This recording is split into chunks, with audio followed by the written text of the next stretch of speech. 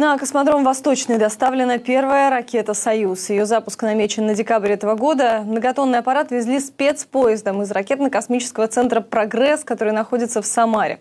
Путь до «Восточного» занял целых три недели. С подробностями Алина Хусаинова. Первая ракета, которая взлетит с нового космодрома «Восточный», уже доставлена на место. Об этом в своем твиттере сообщил вице-премьер Дмитрий Рогозин. Спецпоезд с ракетой-носителем «Союз-2» только что прибыл на космодром «Восточный».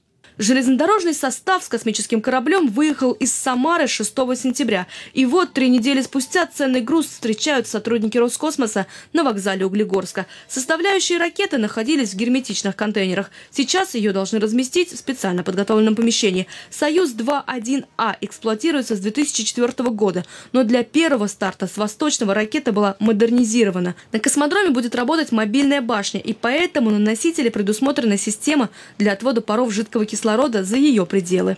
На борту сегодня э, новая цифровая вычислительная машина бортовая, новая система управления, новая система энергопитания, которая подразумевает э, новую схему подготовки.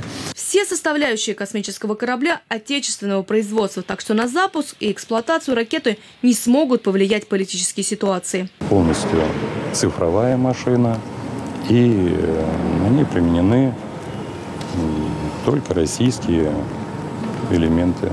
Ракета должна вывести на орбиту два аппарата, которые будут доставлять на Землю данные по космическим экспериментам. Эти спутники разработаны в сотрудничестве со студентами. Ломоносов в МГУ, а Аист в Самарском аэрокосмическом университете.